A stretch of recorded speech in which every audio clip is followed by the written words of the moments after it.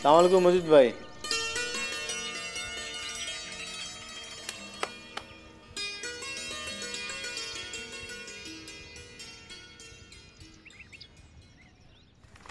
বর্ডারে গিয়া এই লোকরে খুঁজে বাইর করবেন। তার এখানেই থাকার ব্যবস্থা। তাইলে আসাদ আমি সাতটার মনসুরা রাজমহলটা লইয়া বিকেলে লঞ্চে রওনা দিই। ঠিক আছে। মজিদ ভাই আমি কিন্তু আপনাদের লগে যাইতাছি না। আমার পরিবার একটু সমস্যা আছে। তুমি আগে তো কিছু জানো নাই। না জানাই নাই ঠিক আছে। আমি তো প্রস্তুতি নিই নাই। আমি চাইতেছি যে প্রস্তুতি নিয়ে দুই দিন পরে রওনা দিতেছি। সাথে এতদিন কি করছ? আমি তো দুই দিন পরে যাইতেছি। ঠিক আছে আয়। আমি যাই আসাদ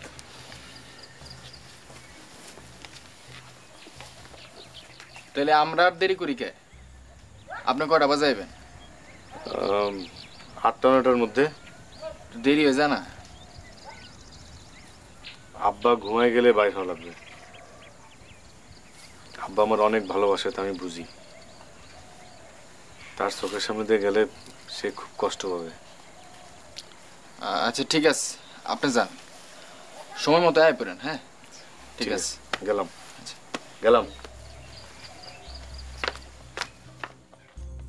আমি বড় বাজারে মতিনের দোকানে থাকব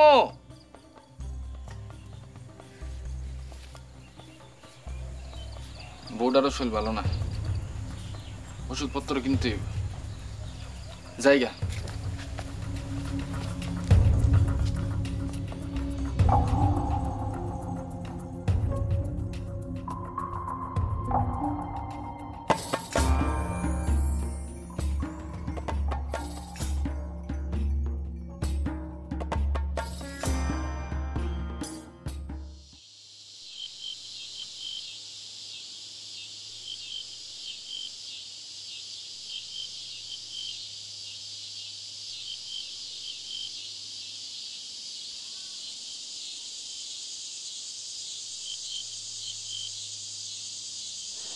আসাদ জব্বা?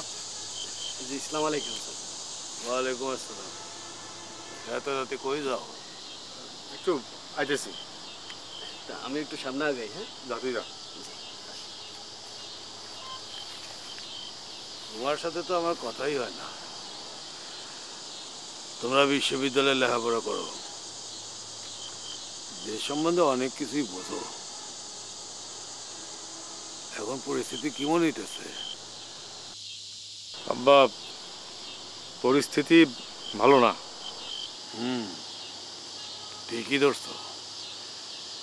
এই গ্রামে পোলাপানের সাথে মেলামেশা একটু কম করো। কে কেমন তা তো বোঝা যায় না। এরা সব নিজেদের বিপদ নিজেরাই ডেকে আনতেছে।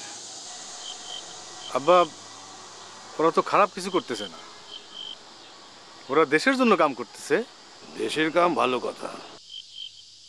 আগে দেশটা একটা ফয়সলা হইতে দাও। দেখো আমার তো মনে হয় পাকিস্তানি টিকে যাবে। তোমার কি মনে হয়? আমার সেটা মনে হয় না আব্বা। আর আমাদের দেশের ফয়সালা আরেকজন করব এটা কেমন কথা? এটা তো হইতে পারে না। আরে কি পারে আর কি পারে না এটা তো ঠিক করবে উপরওয়ালা।